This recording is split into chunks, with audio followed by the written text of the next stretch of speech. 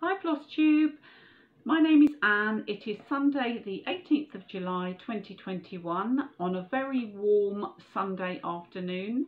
Uh, my channel name is Stitchamajig and I welcome you all.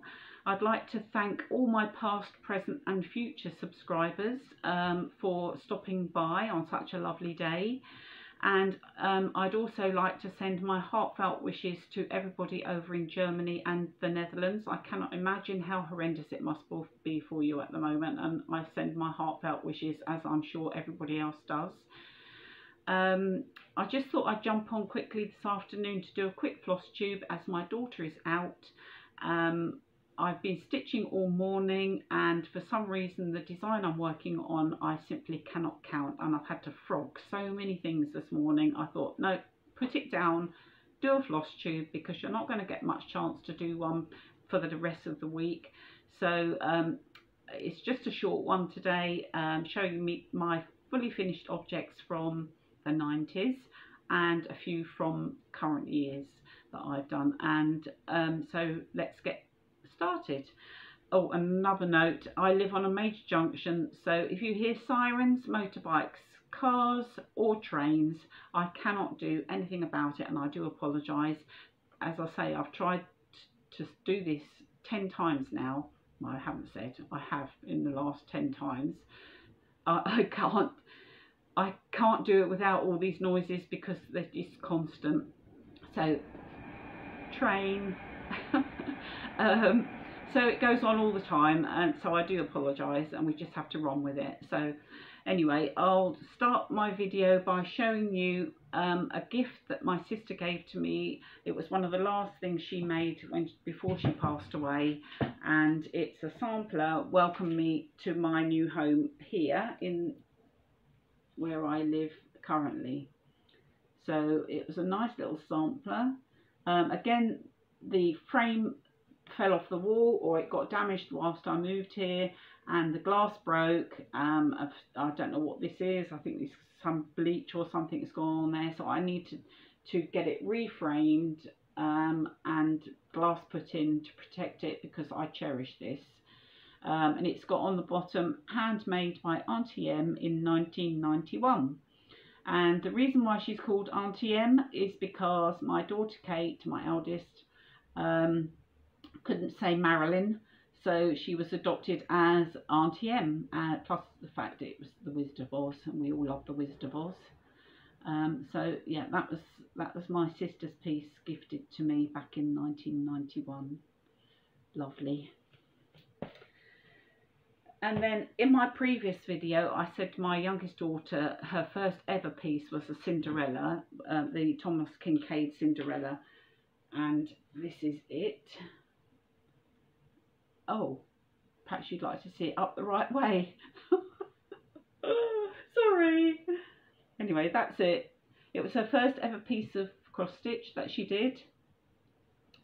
And uh, I think she did an amazing job because it's really quite intricate. And uh, the frame was purchased by my other daughter and she, it was just plain white so she took it and blinged it up a bit with the gold paint and the blue she painted all the little blue dots around the side. So that was my daughter uh, Elizabeth's first ever cross stitch and I think she did amazing. And she's finished Lady and the Tramp which I showed you last week and she's also now doing another Disney one which I've charted for her myself so that's that one. And then back in the, when I was a child, my mum used to love to go out in the spring and drive around Sandringham because in, at Sandringham in the spring the roads are completely adorned with rhododendron flowers in purples, pinks and white and we used to have to go every spring so that she could have a look at them. So I found this design and it is called Rhododendron, which I, I stitched for her. I don't have the pattern. I can't remember what the pattern is, but it's just like the, the um, what is it? Latin rhododendron name at the bottom and it's stitched on uh, linen Belfast linen. And that used to hang up in her sitting room, which I've now got back because sadly both my parents have gone. So I have that now. So that's that one. And then her sitting room was painted in mint green. So I did another design for her. And again, I don't have the pattern for this, but this was another floral design. Just quite simple, but it used to hang up in her sitting room. Bearing in mind these these are some of my first ever cross stitch pieces. I think they're quite nice. I did venture into uh, more complicated designs as time went on. So that's that one. And then I did a winter scene for myself I can't I cannot find the pattern and I find it hard to believe that I've thrown it away because I just don't I don't throw things away. And this is a nice winter scene with the boat on the lake the, with the ice and the windmill and all the snow. We don't get a lot of snow here. Sometimes uh, my son gets a lot more in Norfolk. This was professionally framed and these were this was the colour scheme. That was the colour of my carpet in in my old house. So that, that looked nice hanging up in my sitting room. And I wish I could find the pattern. I think it was a Leisure Arts or Dimensions, maybe DMC, I don't know. It was back in the 90s. Anyway, I'm going to lose more glass if I don't be careful. And then I ventured into Paula Vaughan and I did a cameo of the past which is this design. This chart is really old 1987 and it's a bit tatty now but I still have it. That's why I can't understand I haven't got the other designs on chart I must have them somewhere. So that's that one. And this is my finished piece.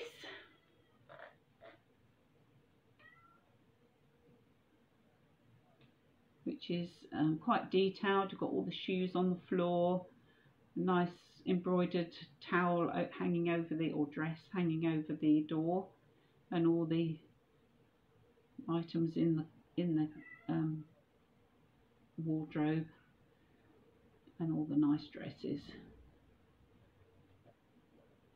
So that was uh, that was probably about the second or third item that I finished back in the 90s and again this was professionally framed and I apologise for the glare.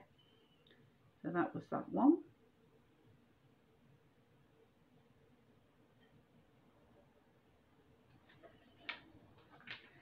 And then I did another Paula Vaughan which is not that one this one and this one's called Let's Pretend I don't know why it's called Let's Pretend. Let's pretend we're getting married, maybe? I don't know. I don't know. Anyway, so that was that one. And oh, these have got glass in, amazingly. I've just had to take them down off the wall, so I've given a quick dust. Um, and this one's got all like the Victorian floral wallpaper and floorboards and a pretty dress. I'd love to have been around in those times to wear nice dresses like that. Um, again all the shoes. The attention to detail is lovely with all the little bottles on the shelf. So again, professionally framed. That's that one.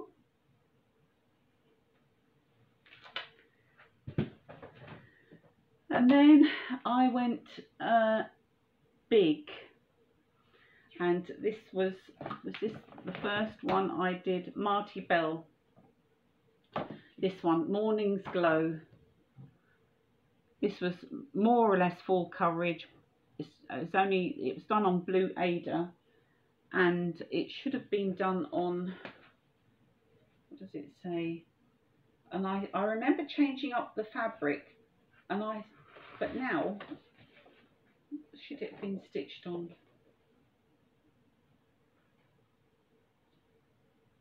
uh, 1990 this pattern. Um, I can't see where what tape what uh, fabric it should have been done on. But I know I changed it because I wanted it to be either bigger or smaller. Um, I didn't really understand the count of uh, fabric back then. So I, I think I made it bigger and I actually wanted it smaller or the other way around. I can't see. Anyway enough. Enough.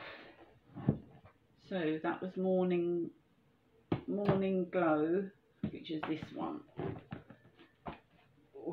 And I had them framed exactly as they were on the uh, picture. I actually found I found the um, frame. So I had them done exactly the same. But there's tons and tons and tons of uh, French knots, back stitching in the roof for the for the um, thatch. So that was that one. I love these pictures. Absolutely love these pictures. I've got another one up, or two of his designs upstairs, ready for stitching but again the, the, attention to detail I mean it's a true country English cottage with all the flowers bursting through the fence. Beautiful.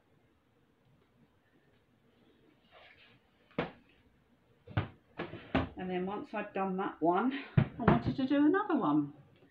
So this one is called the gingerbread cottage.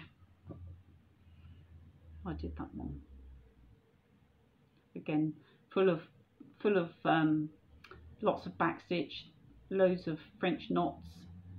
Again almost full coverage apart from the blue all around here that's the actual colour of the fabric. So it's just the clouds that are stitched. And again this this design was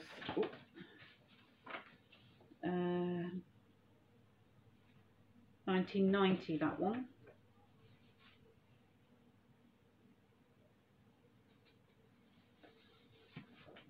so and, again I found I had it framed at the same place so I used the same frame and that's this one. Um, this is beautiful I love it gingerbread cottage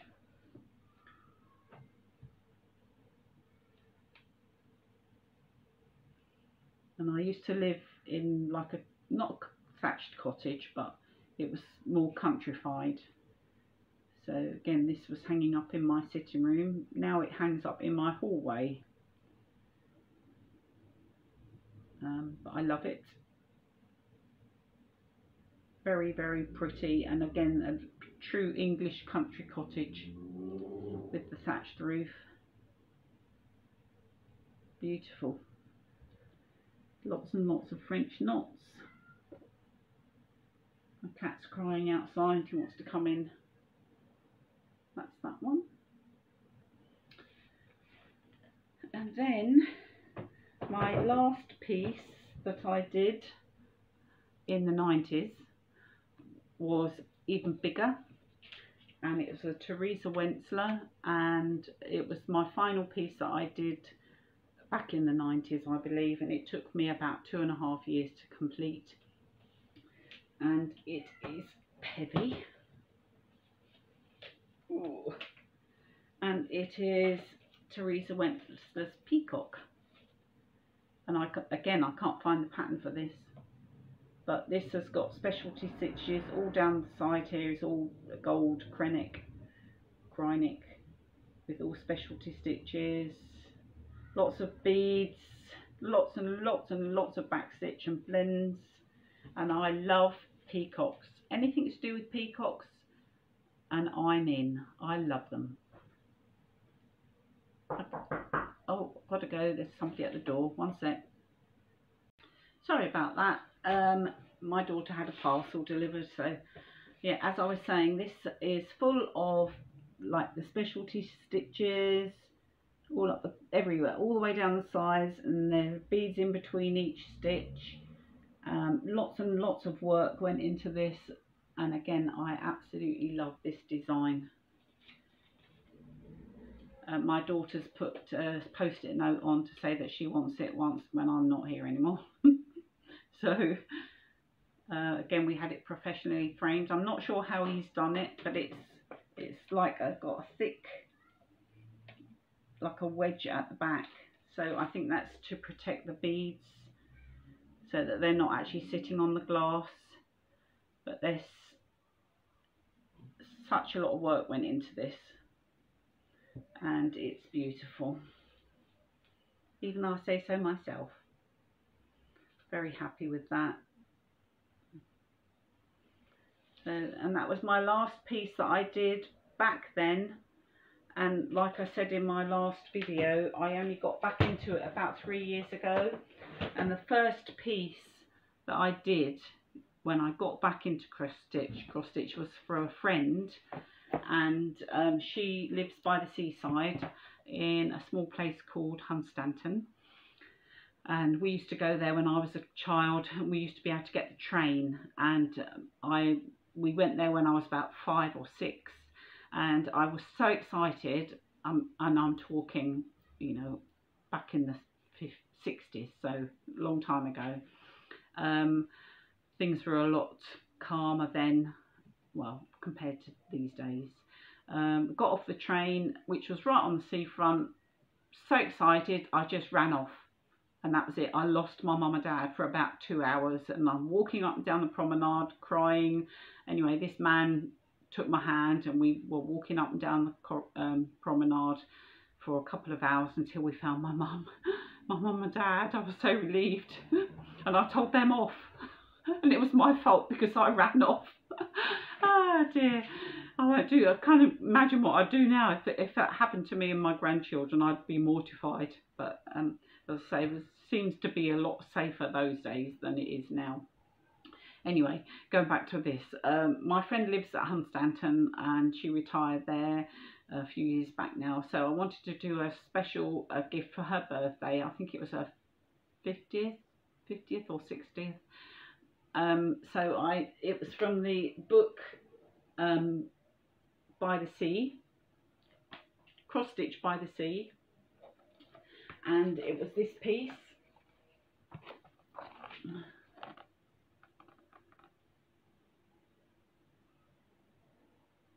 and it says friends are like seashells. Everyone is different. Everyone is special. But I changed the wording just slightly. And it said um, the I, it was the last line I changed and it said friends are like seashells. Everyone is different and I said but you're special. Um, because she is she's been a friend, dear friend for, well, it's funny, we my first ever job, she worked at the same place, but we weren't friends. We never actually got to know each other. It was when, when I was out shopping in uh, Cambridge and she bumped it, I bumped into her and she started chatting and that was back in 1976, something like that and we've been friends ever since. Um, very dear friend. Um, so yeah, I did that for her. I haven't actually got the I haven't got the um, finished piece here. Obviously, I gave it to her as a gift, so I will insert a picture of what it looks like here.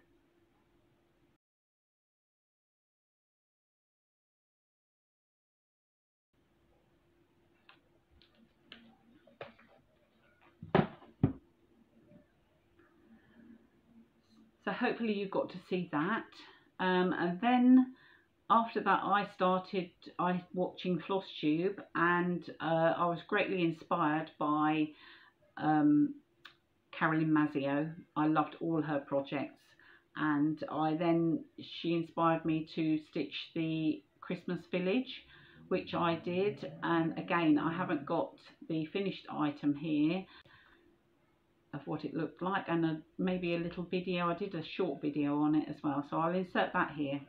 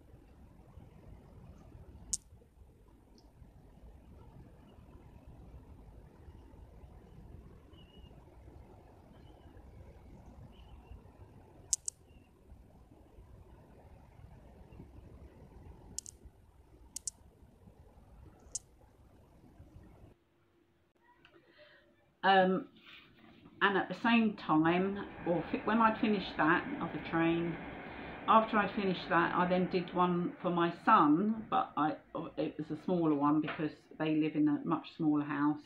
And I did the Bothy Threads, um, was it called Scandi Tree? So mustn't I keep leaning on my it's a bit rude isn't it I'm sorry um my head's heavy today. That's my excuse. Just laziness. Can't hold my head up on my own. I've got to prop it up with my hand. Anyway, so this was the Scandi tree. And again, I haven't got the finished item here, but I will put a picture in of that. They had it hanging up in their, their home last Christmas. And I blinged it up a little bit. I put extra, um, like this was supposed to be stitched.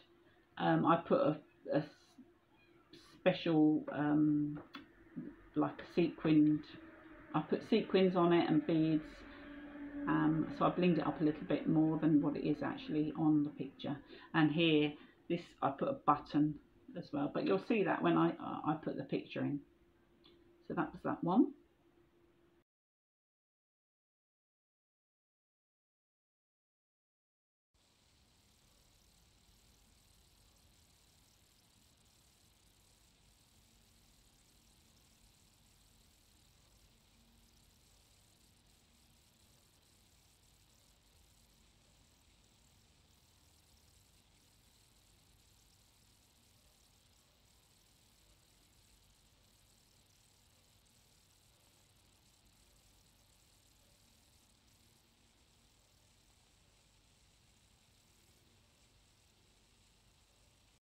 So I think that's all my finishes.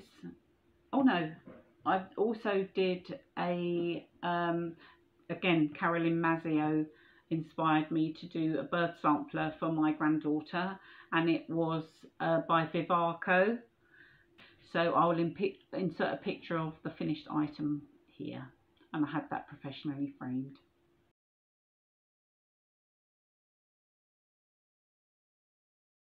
My cat wants to come and say hello. This is Scratch. Scratch the cat. Say hello. Say hello, Scratch. He's, he's a bit of a scaredy cat, aren't you? Who's that in there? Who's that? He was my risk. He turned up on my doorstep and he didn't have any hair. Oh no, he's off. He didn't have any hair on his back. Poor little thing. Um, he came from the next door neighbour's house because um, they had 17 cats and he escaped. Um, so I rescued him and he's been with me now for six years, five years. And his name's Scratch because he had no hair. So my daughter said, call him Scratch. Because he scratched it all off.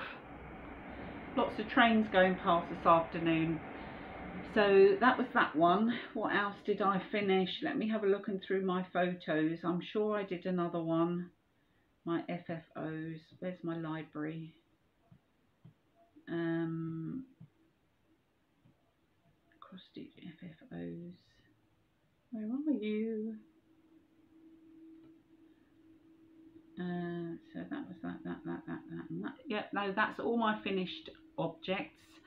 So the only thing that I've worked on this week is my uh, modern folk uh, art embroidery, which is what I stopped doing this afternoon because I mean it's it's a simple design, but there's quite a bit of counting, and uh, I just gave up with it this afternoon.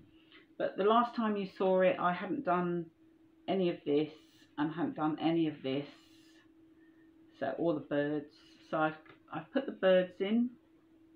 Well, they're half done. That's uh, the next. That's January, February, March, April, May. This is May.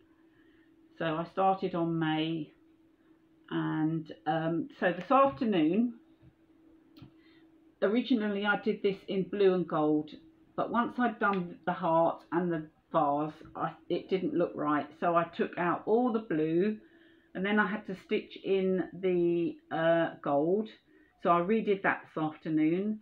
And then I made a mistake in the vase this one. I'd missed a stick put one stitch across too far so I had to take that out and redo that and then this flower from this side this flower I did off this branch.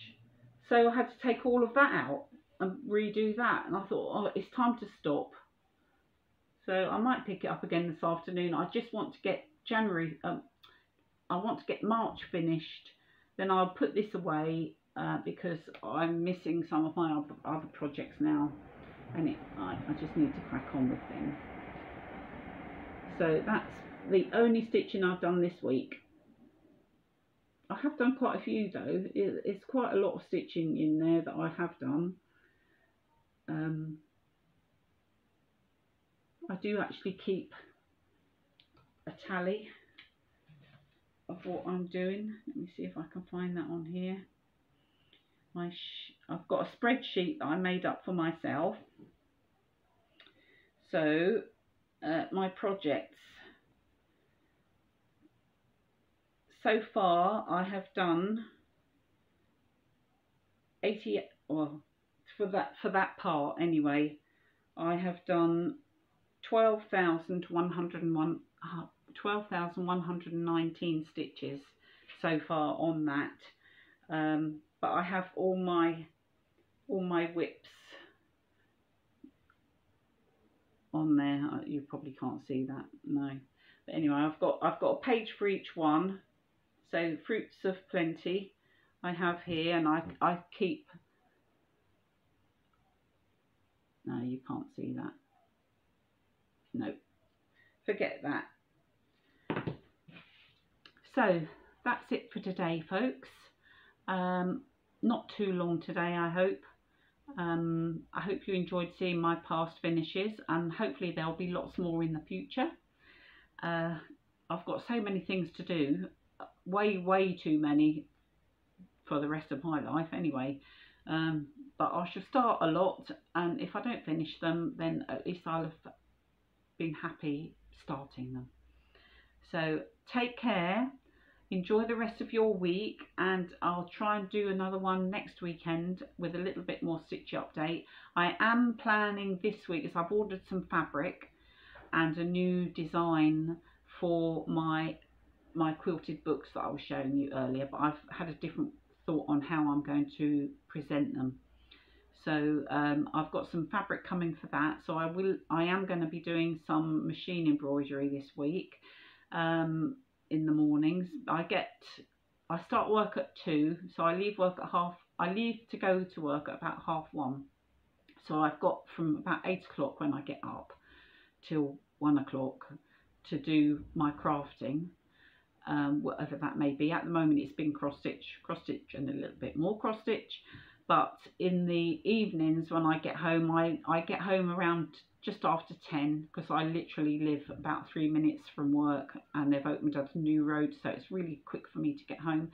And then I'll do another couple of hours when I get home from work in the evenings and usually go to bed around 12. So hopefully I'll get a bit more done this week. Um, so take care and enjoy the rest of your week. Stay safe and I'll see you all soon. Bye.